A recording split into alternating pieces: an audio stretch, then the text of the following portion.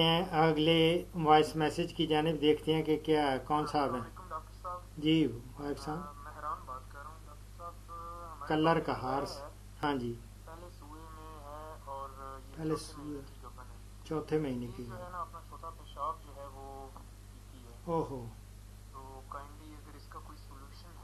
है है जी, अभी करता हूँ। हाँ जी। क्या हाल है, डॉक्टर साहब? ठीक हैं? अच्छा ये ना, एक वो बगरोटी बाद में देते हैं। पहले वैड वाला।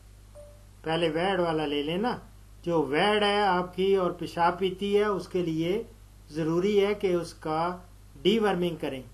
और डीवर्मिंग किससे करें? थंडर से कर दें, बिस्मिल्लाह करके। सेफ़ भी है, थंडर से। रात को जब बांधते हैं, उस वक्त आपको इसको जो मकदार है, उसके बराबर दूध में मिला के वो इसको पहले गुड़ खिला के वो पिला दें। और रात को बाँध दें अंदर। और फिर देखेंगे पेशाब इंशाल्लाह नहीं पिएगी, जब इसकी डीवर्मिंग सही हो जाएगी।